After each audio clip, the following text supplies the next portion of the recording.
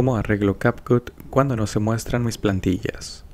Si tú entras en la aplicación, puedes recordar que antes, al lado de tus proyectos, había una opción la cual decía plantillas. Con la nueva actualización de CapCut, esta opción ya no está disponible. CapCut ahora impide que cualquier usuario pueda crear plantillas. Si tú quieres utilizar una plantilla, tenemos que entrar aquí en la sección de plantillas.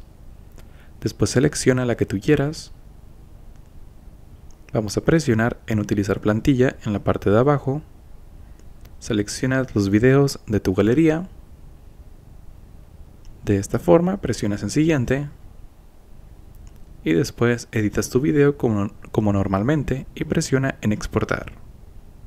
Ahora, en dado caso de que tú quieras crear tus propias plantillas, lo que tenemos que hacer es deslizar hacia arriba y en los anuncios, en esa sección, vamos a buscar este anuncio el cual diga conviértete en un CapCut creador. Presiona en este anuncio.